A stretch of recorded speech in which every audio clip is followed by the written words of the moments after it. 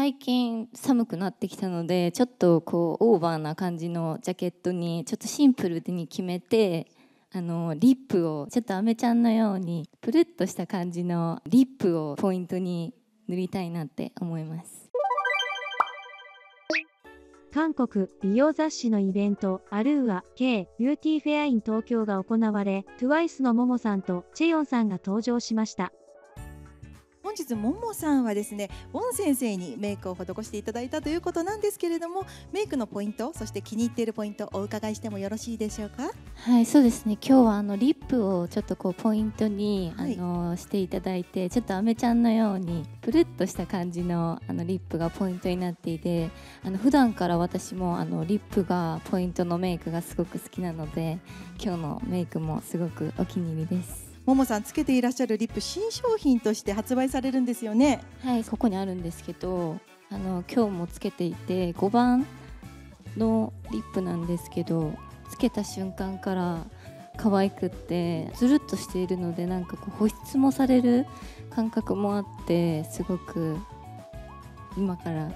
たくさんつける予感がしています。えそしてこの秋冬はリップ以外にもたくさんの新商品がリリースされるんですがえなんとももさんとの初のコラボアイテムも数量限定で登場するんですよね。はい今回のコラボアイテムはこの私も大好きなウォン・ジョンヨのパウダーなんですけどはいこれにあの私のサインが入っていてちょっとこうスペシャル感があるピンクのキラキラで作っていただいたのでぜひ皆さんチェックしてみてください。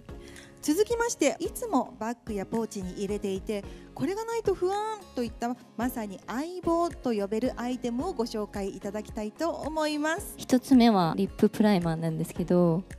これはあの本当に私普段も使っているし今日もあのリップを塗る前に塗っていただいて本当に毎日のように使っているのですごくおすすめですやっぱりリップがあの持ち時間キープ時間がすごく長いので すごくおすすめです。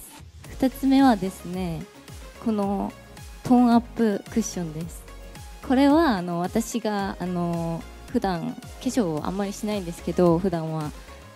でもこれだけ塗ってちょっとトーンアップしてあの外に出たりとかしてるので必要なアイテムです。どちらも普段使いにもいいということで、はい。普段にすごく使えます。うん。そしてだんだん寒くなってきますよね。秋冬。この秋冬に挑戦したいメイクもしくはファッションあれば教えてください。そうですね。最近寒くなってきたのでちょっとこうオーバーな感じのジャケットにちょっとシンプルに決めてあのリップをやっぱりポイントに塗りたいなって思います2024年のうちにやりたいことがあれば教えてください。そうですね。あの来月にみさものコンサートがあるのでそれを無事に楽しく終わらせれたらいいなと思います。